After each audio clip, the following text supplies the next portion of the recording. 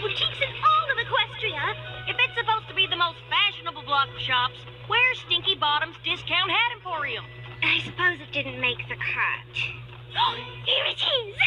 Rarity for you!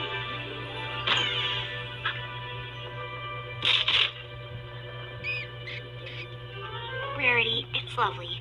But are you sure you'll be ready to open tonight?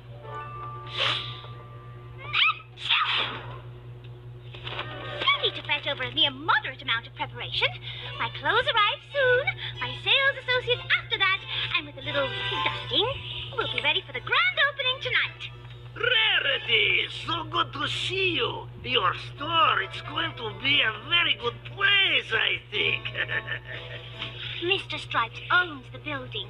He's a very pleasant landlord. Although he can be pushy at times.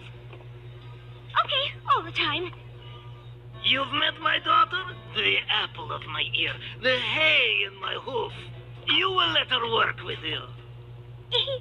It's just, I'm dreadfully busy preparing for tonight's grand opening. As you can see, uh, There are only two things I love more than being pushy. One is my daughter. The other is miniature doll furniture. And I would sell my entire mini furniture collection to make my daughter happy.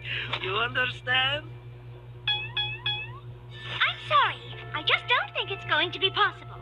Let me say